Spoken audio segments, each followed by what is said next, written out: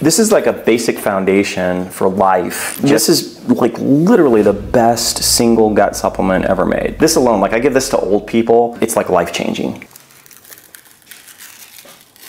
So this is human milk oligosaccharides, which you get from mom, and these act as food for the species, the family of bifidobacteria. They feed Akkermansia, but they also act as immune system decoys, so they improve the immune system. They basically set the immune system when you're a baby. So when you get mom's breast milk, it's got those in there, but this also has a special type of resistant starch. It's called Solnul. So it's the world's only resistant starch that's been studied so like they've actually proven this stuff will increase Akkermansia by 300% in a month.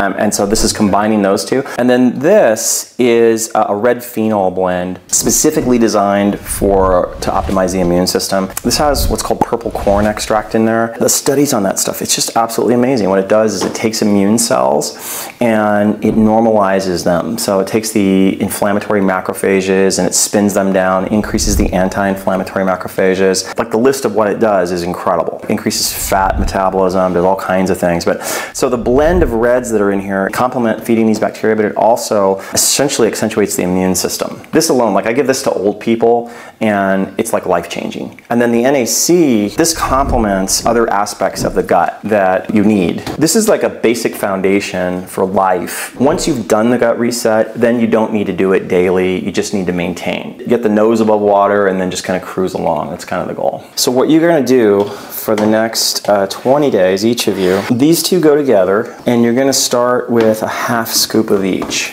for the first 10 days, okay? And once a day?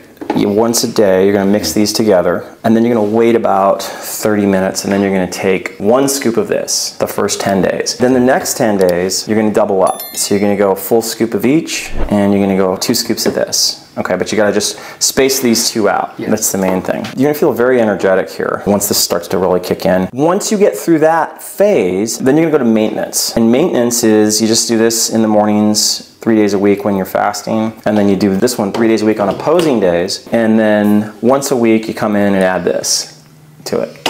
Okay, that's it, that's your maintenance.